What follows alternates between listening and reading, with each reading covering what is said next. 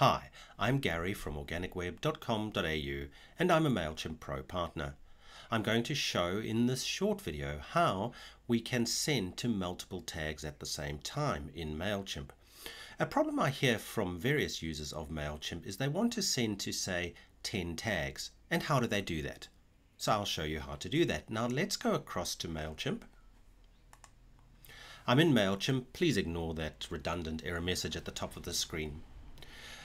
I'm looking at my audience at the moment and let me click on tags and you'll see when it loads up that I have various tags. Now I'm in Australia so in this case um, I have the capital cities of Australia but I also have various other countries, Los An- or, or, cities, and you know, in different countries, Singapore, uh, Los Angeles, uh, New York, and so on. So, what if I want to send to all of just the Australian uh, capital city tags in, in, in this case. In other words, Adelaide, Brisbane, and so on, excluding uh, New York, uh, Singapore, and so on. There are various ways to do it, but I'll show you what I think is the most practical and simple way of doing it.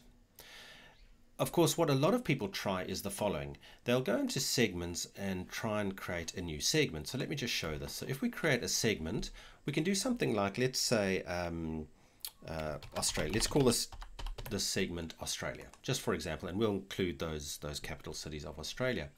So we can add a condition and we can add tags. We can go tag where the contact is tagged, for example, Perth.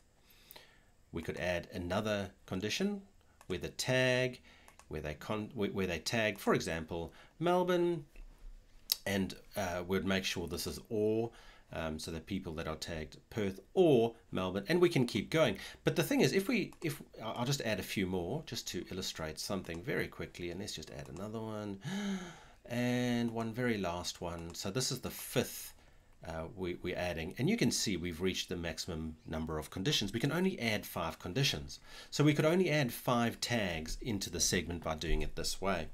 Of course, we could also do something else and do where send to everyone where the contact is not tagged, for example, and select New York, something like that. Okay, so segments in this case, in this specific instance, are not going to work for us. So let me just cancel out of that. So back into our tags.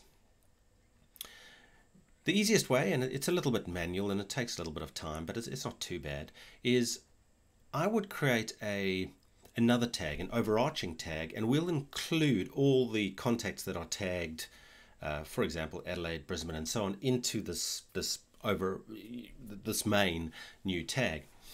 So what we could do, for example, is let's create a tag, and let's just call this one um, Australia for all Australian um, cities in this case, or tags. We'll just wait for this to load up. So we have an Australian tag, but if we view that, We'll notice that we don't have anyone in that tag at this time. It's a little bit slow, but it'll get there. You can see we have no one in the Australia tag. Let's just go back to tags. So we will now go through and I'll show you how we can go into into the various let's call them sub tags that we want to to include in the Australia tag. So what we would do in this case is we would starting at the top, we would view all the Adelaide, the people tagged Adelaide and we'll just click view wait for that to load up. And this is just a demo account so there won't be too many people. We could then just click all our people and quite simply add or remove tags. And I would just in this case scroll down and, and you can see where it's highlighted the tags that, that some people are already uh, uh, tagged. And we would select Australia for example.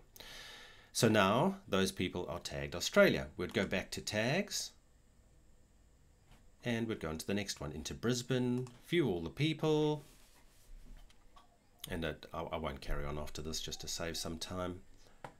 And what we would do is we would say we would select all these people and merely tag them. Also as um, Australia.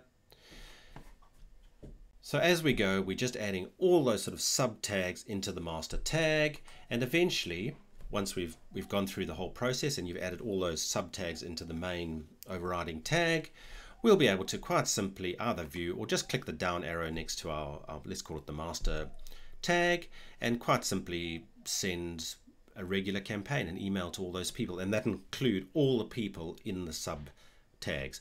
But don't worry, it's not going to send to unsubscribe people, just the subscribe people that are in those tags. But thanks for joining me. My name is Gary from organicweb.com.au.